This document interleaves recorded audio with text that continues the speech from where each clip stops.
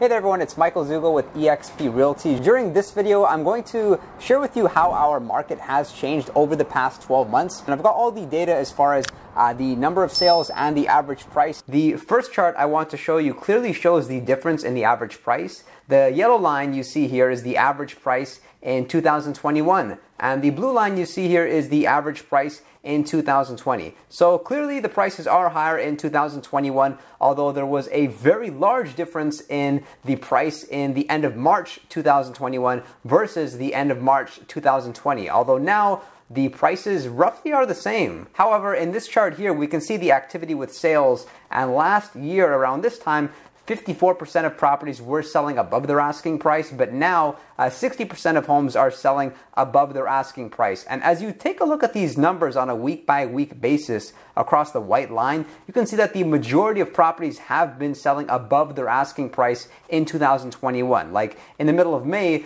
uh, 70% of properties were selling above their asking price. And in the middle of March 2021, 80% of properties were selling above asking price. And this is not just exclusive to Toronto detached homes. This is across all style of properties, even in the condo market. Whereas in the condo market last year, it was really quite rare to see bidding wars, even if a property was priced uh, somewhat competitively. And there is further evidence that the market has swayed more in the favor of sellers based on this chart over here because you can see that the number of active listings in 2021 and 2020 is relatively similar. There were only 7% more active listings, yet look at the increase in sales. There was only about 4,600 sales in this month last year, and in 2021, there was 160% more at almost 12,000 sales. So we can see the supply has been somewhat stable, but there has definitely been an increase in the demand, which is leading to higher prices. And then lastly, with respect to the condo market, based on this chart over here, you can see that there hasn't been too much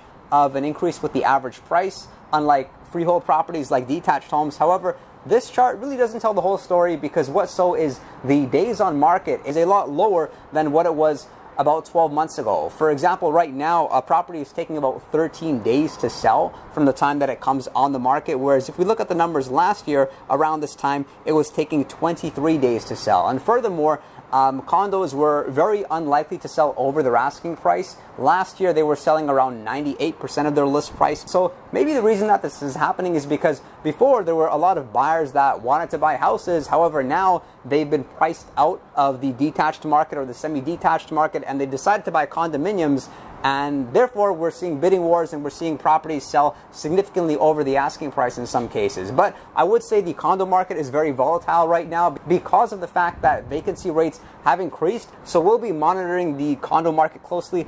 If you got value from this video, then consider subscribing. I post updates regularly. And if you're an ambitious real estate agent looking to connect for opportunity, then do contact me. Uh, my contact information is in the description box below. And hey, if you're considering buying or selling, I'd love to help. Uh, my phone number is 416 671 5218. Call me, call me, call me, and I'll look forward to seeing you all next time.